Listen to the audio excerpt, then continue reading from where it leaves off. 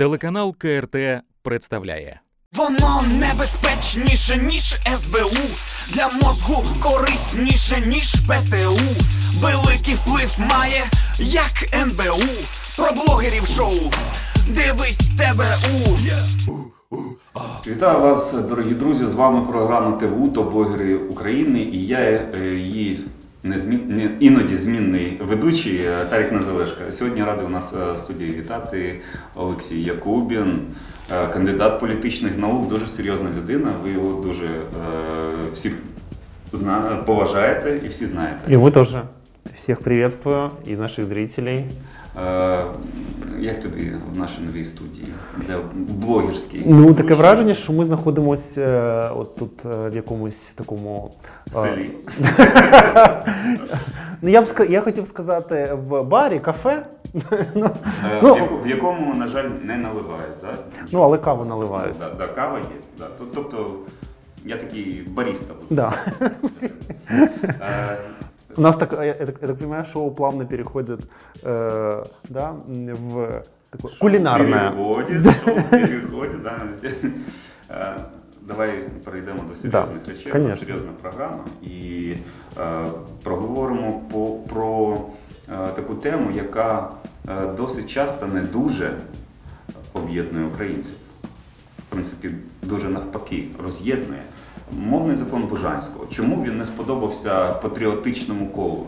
Чому так багато шуму? Приїхали якісь люди, навіть приїхали з Дніпра люди, які е, проти того, щоб е, м, ш- в деяких школах викладалося російською. Ну, мне, ка- мне кажется, что давайте вот посмотрим в корень, да, вот если смотреть. На самом деле это правки, вот, которые были предложены Бужанскому, и более того, это очень и очень лайтовые правки э, К действующему на данный момент языковому законодательству в каком вопросе? В вопросе э, отстрочки перехода школ на украинский язык. А, Я просто напомню нашим зрителям, что из-за принятого не- несколько лет назад закона об образовании, потом вот языкового закона, да, о функционировании украинского языка как государственного, у нас образовалась интересная ситуация, что в принципе все школы должны перейти на украинский язык обучения. Но у нас в стране э, кроме, есть ряд школ, где кроме украинского языка есть еще и другие языки Например, венгерский, румынский, русский, молдавский, гагаузский, белорусский. Особливо мені подобається румунський і молдавський. Да. А гагаузский хороший язык. Да, так вот, есть достаточно много, э, ну, то есть, и, и таких школ, на самом деле, по- на самом деле, не так и много, но, то есть, э, в чем как бы здесь заковыка? Э, когда начался скандал с Венгрией, Украина в итоге согласовала такую позицию, что для всех школ с языками, языками национальных меньшин стран Европейского Союза делается переходной период до 23 года. И все. То есть, по сути, был создан такой дискриминационный момент, да, что а, если э, школа, например, кроме украинского языка, там еще был русский, ну, например, э, русский язык, белорусский, гагаузский, молдавский, то они не подпадают под эту норму. То есть они должны перейти на украинский язык полностью да, с 1 сентября 2020 года. А если там венгерский язык, румынский, польский, ну, еще какой-то из стран Европейского Союза, турецкий, например, да, что э, турецкий относится к странам, языкам Европейского Союза, из-за Кипра, из-за Кипра, да, а, то в таком случае, а, значит, там до 23 года у них переходной период. И правка Бужанского, она касается просто того, чтобы уравнять а, то здесь на самом деле не идет речь о том, что украинский язык, с ним происходит какая-то борьба или там вот, э, да, какой-то негативизм в его сторону. Просто идет вопрос стоит в том, чтобы уравнять права наших граждан, которые обучаются на языках э, национальных меньшин Европейского Союза, с нашими же гражданами, которые хотят, чтобы в школе, кроме украинского языка, у них был еще и русский язык, молдавский, белорусский, гагаузский. Вот, вот и все. А то, что, э, то есть, грубо говоря, это не даже о, ка- так о языке, как о недискриминации. Вот я думаю, что вот это даже более корректно так говорить. Не дискриминации наших сограждан. Цікаво, що е, коли мав можливість пан Бужанський поговорити з пані Нісою, це відбувався ефір на телеканалі ЗІК, таку рекламу маленьку. м, Сподіваюся, нам монетизація якась прийде звідти. А, І коли вони безпосередньо починали розбирати цей мовний закон, Бужанський запитав, що вам не подобається, а ви взагалі читали ці правки? Оказалось, что нет. Да, да. І, і у нас е, досить часто так відбувається, що люди виходять проти чогось Да, чи за да. щось, м, про що вони навіть і гадки Конечно, и, не и- мають. и это, кстати, вот показательно. Мне кажется, что вот то, что мы видим со стороны, например, Порошенко, да, и близких к нему а, поли- групп, а, части радикальных групп, а, такое вот возбуждение на тему языка, это просто связано с тем, что они же не украинский язык защищают. Ну, давайте признаемся честно, они защищают, а, по сути, свою политическую повестку, где язык просто это инструмент. Просто инструмент, да? Потому что, вот я, я просто напомню, что э, давайте вспомним, в каких попыхах у нас принимался закон о функционировании государственного языка как украинского как государственного, да, в прошлом году. Он принимался просто в контексте избирательной кампании, чтобы повесить на борде надпись э, «Армавира», ну вот ради этого он и принимался. Более того, даже там были допущены, я, я не говорю о процедурных нарушениях, э, неперсональном голосовании, которое тогда было допущено. Более того, э, до- вплоть до того, что они прописали в переходных положениях вот, э, вот, вот того закона, что за полгода должен быть разработан закон о языках национальных меньшин. Его нету до сих пор. Ну, то есть, круто, да, приняли один закон, прописали, что там должен быть другой, э, на пол, за полгода он должен быть разработан, его не представлено, его нету, а они теперь как бы апеллируют к тому, что вот какая-то там готовится нападка на украинский язык. Не готовится. Вот в том-то и дело. Это просто, еще раз говорю, это о правах наших сограждан. Если ты гражданин, Я- ты я пл- от, перепрошую, платишь налоги, Перебиваю, я от не розумію. В принципі, е, завжди намагаємося сподобатися тим, хто там за кордоном, ну за забором, як то кажуть, Да. живе. Е, Це якщо аналогію таку проводити, то у тебе, наприклад, є діти. Ти е, накупив цукерок, але ти роздаєш ці цукерки сусіднім дітям для того, щоб вони про тебе нічого поганого не казали. Да. А свої нехай е, будуть. е, Хоча, в принципі, від цукерок Так, карієс, і- і- і- може, і- може навпаки И, нас и- и я еще один бережуть нюанс від чогось. э, на- напомню, что на самом деле ведь речь же идет, э, опять-таки, в школах, в которых, например, сейчас есть э, русский язык, да, или белорусский, там еще есть всегда и украинский язык. То есть это манипуляция, когда говорят, что это означает, там, что там не будет украинского языка. Значит, Конечно, будет, но только вместе. То есть и русский, и украинский язык. Да? То есть детей не лишают права э, уч- э, ну, учиться на украинском языке. Более того, это касается только э, не более 1% вообще всех школ. Вот вдума- вдумайтесь, 1%. Но демократия же начинается там, где уважаются права всех граждан, и меньшинств в том числе. Даже в первую очередь, наверное. Это показательно. У нас не поважається і не меншинство, а більшинство. О, у вас це особливо У нас это вообще цікавий підхід. а- особо, да, он- не, у нас же есть просто, а, скажем так, а- а- ради- агрессивное а, меньшинство радикальное, да, ну, которое, как оно считает, что правит бал. Потому я считаю, что принятие этого закона, ну, то есть, то есть, при- скажем так, исправление этой дискриминации, ну, само собой, что это очень и очень лайтовая версия, потому что тут нужно менять вообще языковое законодательство. Но это хотя бы такая, знаете, какой-то малюсенький паллиатив сейчас, чтобы изменить ситуацию, чтобы с 1 сентября да, а, школы, где есть, кроме того, русский язык, белорусский, молдавский, гагаузский, чтобы они дальше смогли работать так же, как школы с венгерским, польским и так далее. А ключевой вопрос, я думаю, это будет своеобразная лакмусовая бумажка вот готовности депутатов да, а, э, поддержать эту недискриминацию. Я знаю, что э, Юрий Бойко говорил, что оппозиционная платформа, скорее всего, будет голосовать, да, а, то есть они поддерживают вот эту смену.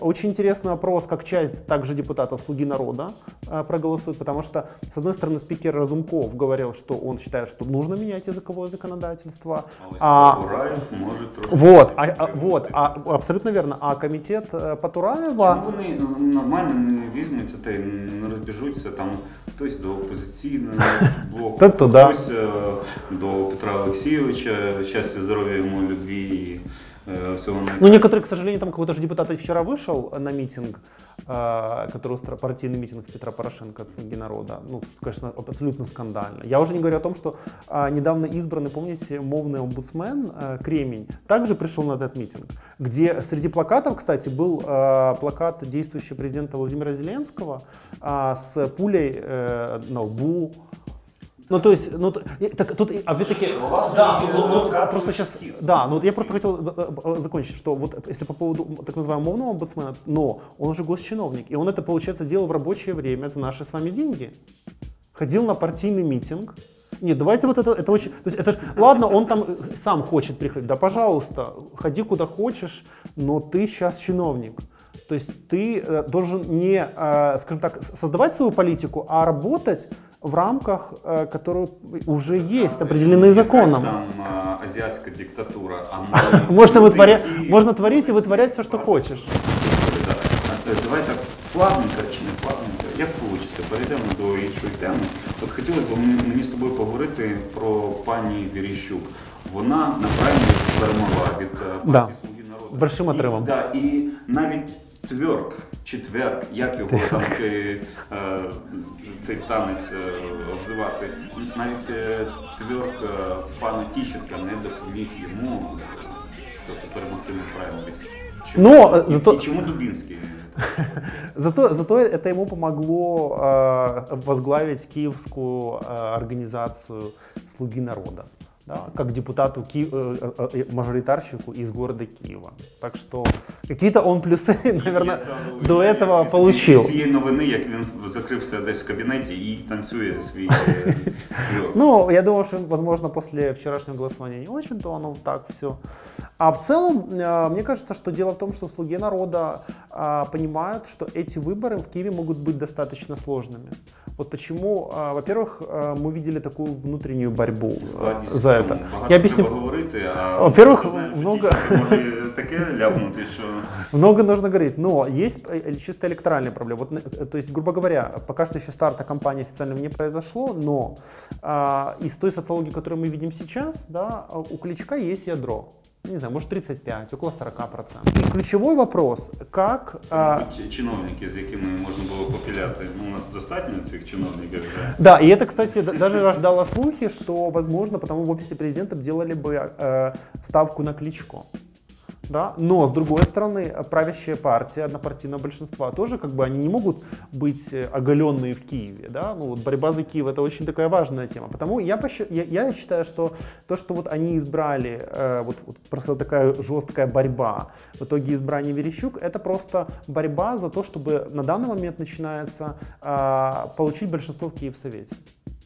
Ну, потому что, э, давайте честно говорить, э, мэр, если у него нет большинства в Киевсовете, а тем, и он не назначен, например, главой Киевской городской государственной администрации, если мы говорим о Киеве, то это мэр даже не английская королева. То есть это очень мэр с Я ограниченным... принц. Да, да, английский принц. Мэр с ограниченными Умственний, возможностями, назовем так, мэр с ограниченными возможностями. А, и поэтому идет такая борьба. Я думаю, что э, ключевая ставка на Ворощук связана, а, с тем, что у нее есть э, э, опыт управления городом, раворусской. Пусть и небольшим, там 8 тысяч жителей, но тем не менее. А, у других и такого, как говорится, нет опыта. Это раз. А во-вторых, она а, как бы достаточно медийно узнаваемый депутат. І, до речі, може... І плюс вона женщина. менше Я думаю, це якось теж не грає.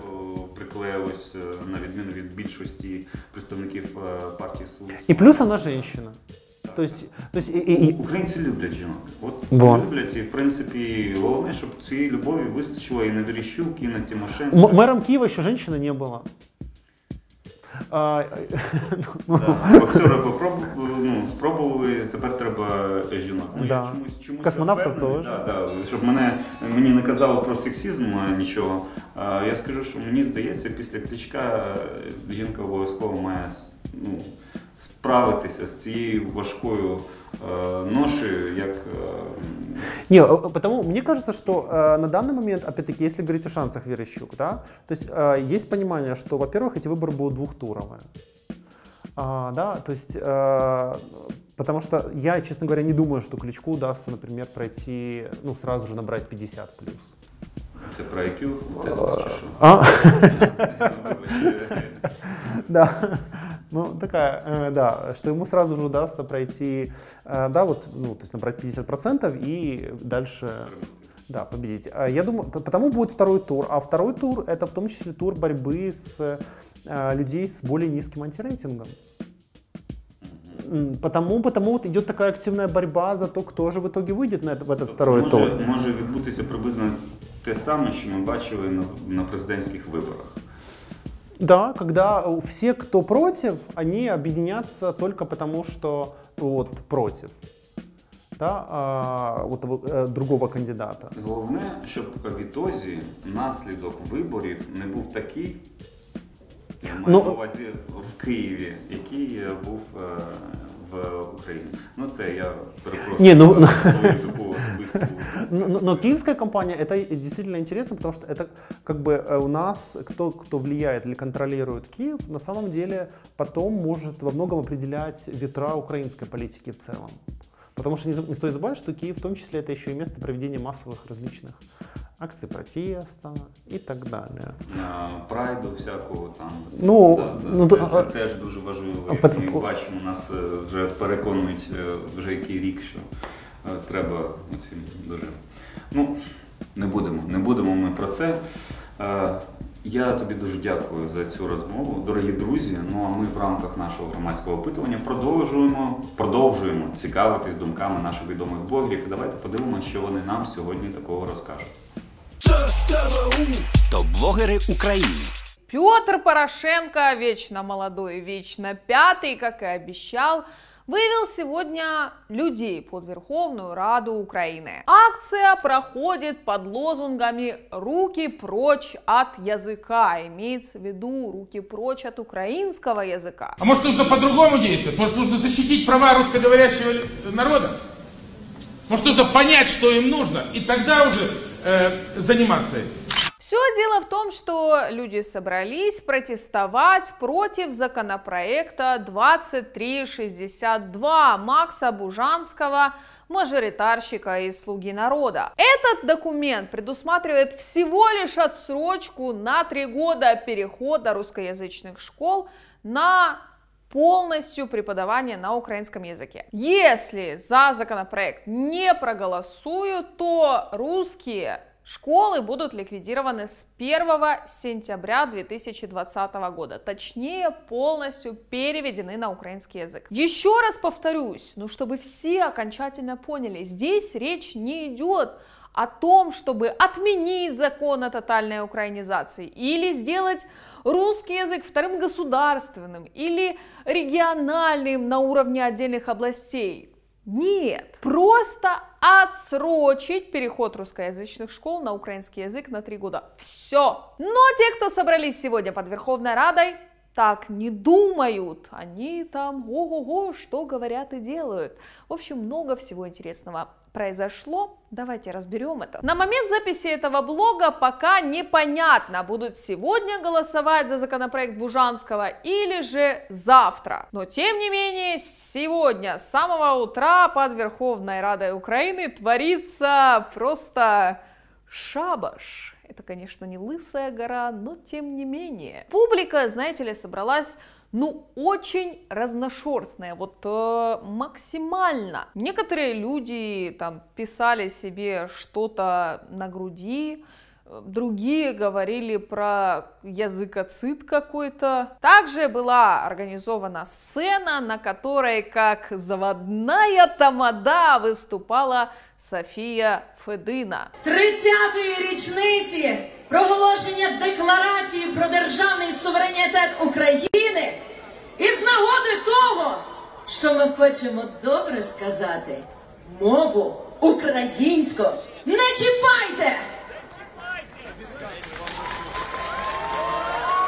И знаете, я вот на нее посмотрела, и мне подумалось, вот, вот за- зачем, зачем вам политика? Вот вести там якесь весілля у селі, там конкурси, шарики, обмотки туалетной бумагой, а не все вот это вот. Я розумію, що в декого є третя хромосома і декому не дано вивчити українську, але в Україні має бути українська мова. Давайте перейдем к персоналиям. Кто ж там отличился? Начнем с Ирины Геращенко. Она заявила, что Бужанский не знает русского языка на самом деле и вызвала его на дуэль. Мол, она лучше напишет диктант на русском языке, чем Бужанский. Ну, неудивительно. Я викликаю пана Бужанського на дуель написати диктант російською мовою. Він її не знає, друзі!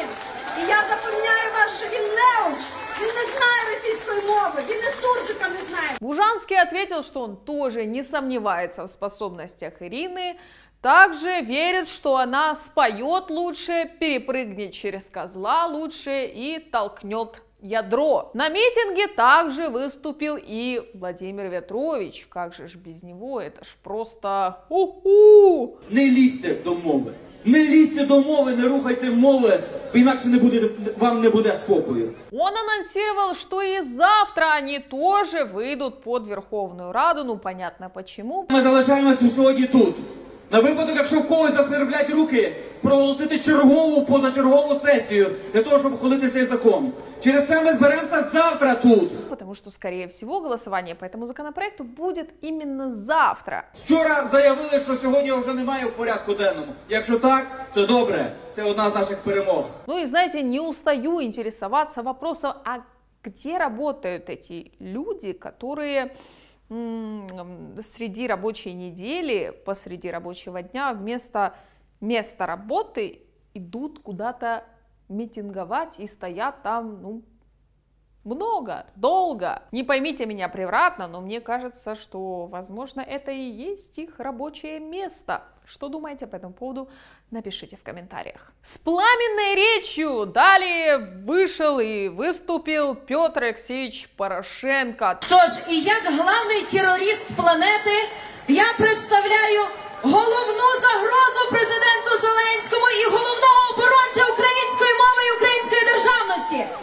П'ятий президент України Петро Порошенко і Марина Порошенко. Толпа не уставала ему дякувати, Дуже дякую. как и он толпе. І на цій сцені хочу подякувати. Дякую тобі, Марино. Подякувати всьому творчому колективу. Дякую Андрію Парубію. Отже, я дуже дякую кожному з вас, що ви не байдужі. І дякуємо Господові за те, що він нам послав автоскефальну православну церкву України. Дякую, дякую, дякую кожному з вас. Софійка, як ти там казала, що там хто мову зачепить, кому куди їхати? Заважає мова геть до Ростова!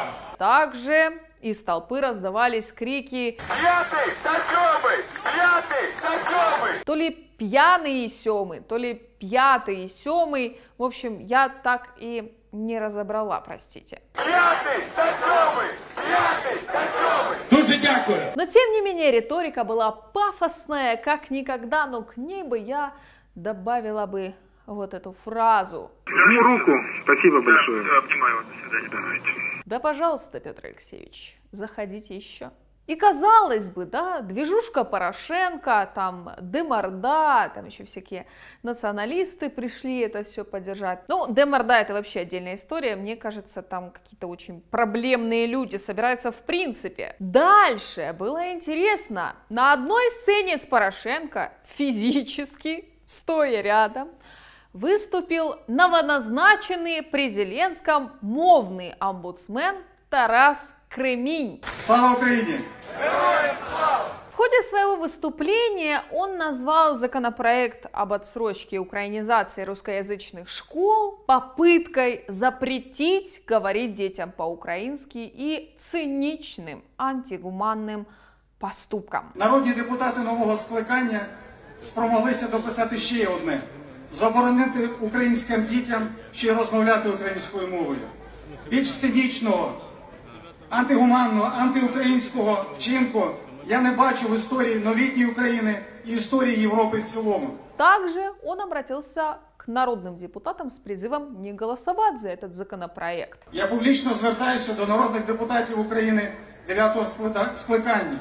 Шановні, схаменіться, вас обрав народ України не для експериментів. Я щиро бажаю усім нам, щоб на 30-ліття декларації, щоб на річницю мовного закону жоден експеримент не пройшов. Слава Україні! Отличная команда у президента Зеленского. Ничего не скажешь. Но не только языковой омбудсмен смог отличиться в поддержку акции, вышел еще и соратник президента по партии «Слуга народа». Это мажоритарщик, который был избран по округу в Житомирской области и ранее работал на парохоботском телеканале «Эспрессо» Дмитрий Костюк. Его, конечно, немножечко, скажем так, смутили флаги партийные Порошенко и там всех других организаций, но желание поддержать побратимов победило. И знаете, если вот это вот в тебе сидит желание, то внутри его сдержать сложно, что и сделал Дмитрий не сдержал. Также представителя президентской партии и, собственно, языкового омбудсмена, который работает при правительстве Шмыгаля, при президенте Зеленском, абсолютно не смутили лозунги, которые демонстрировали да и озвучивали присутствующие на этой акции. Например, никого не смутил плакат с лицом Зеленского, во лбу которого находится то ли пуля, то ли патрон. Абсолютно никого также не смутили оскорбительные высказывания в адрес своего сопартийца Макса Бужанского. Да и в принципе, если посмотреть на фракцию «Слуга народа», никто особо за своего партийного соратника не заступается. Все как бы в стороне это Бужанский, он сам придумал все. Вообще, в принципе, то действие, которое происходило, и те лозунги, с которыми люди выходили, по идее, должны были бы заинтересовать как минимум службу безопасности Украины, а по максимуму стоило бы придать этому всему общественный резонанс, максимальный. Например, люди пришли с такими плакатами. Мерзенный забил Бужанский, хочешь русский мир, нах в Донецк. То есть, правильно ли я понимаю, что эти люди, которые вышли под Верховную Раду, не считают Донецк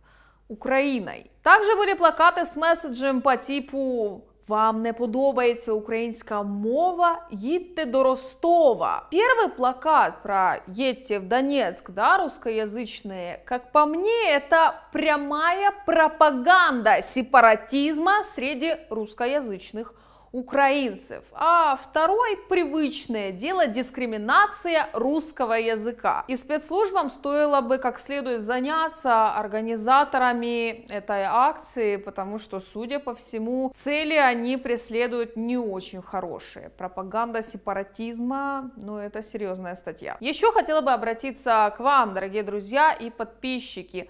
Те, кто говорят о том, что Олеся и страна, вы постоянно поднимаете вопрос дискриминации русского языка, который на самом деле нет, этот вопрос выдуман, вы его притягиваете за уши. Отвечаю, смотрите, есть конкретные факты. Под Верховную Раду, под эгидой конкретной политической силы, конкретной парламентской фракции выходят люди и говорят, если вы не согласны, уезжайте из нашей страны. Это похоже на дискриминацию или нет? Вот напишите ваше мнение в комментариях. Очень и очень интересно. Но перейдем к выводам. Какой вывод из всей этой ситуации можно сделать? Во-первых, власть максимально импотентная, вот насколько это возможно. Непонятно, отреагируют ли они каким-либо образом, если им на голову нагадят. Возможно, нет. В этом и вопрос. Во-вторых, абсолютно не приходится говорить о какой-то